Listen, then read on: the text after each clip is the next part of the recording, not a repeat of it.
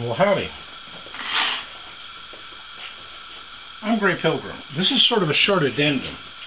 One of the fellows in my comment section on, uh, it was on YouTube, might have been on BitChute, mentioned this King Carol carbine is a uh, controlled feed rifle. That means that you have to get it into the uh, extractor before you can check it.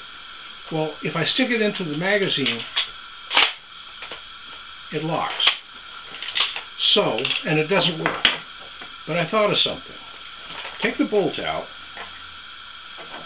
take the no-go or go gauge, then take it from the bottom in and put it into the extractor.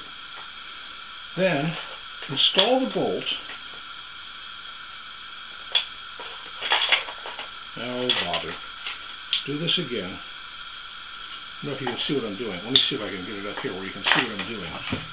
Oh. Here's the gun. And what I want to do is this. Run it in like that, and it works.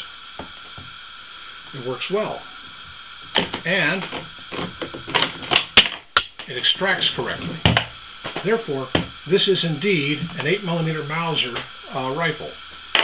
And whoever left that comment, I thank you.